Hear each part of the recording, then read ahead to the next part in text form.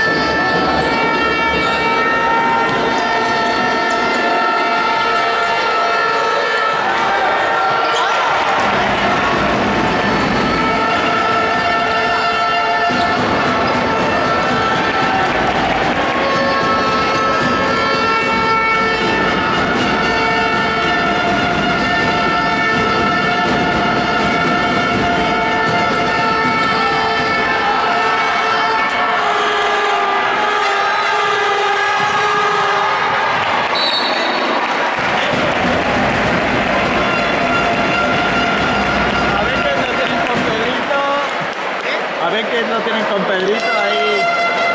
Se le va a intentar secar.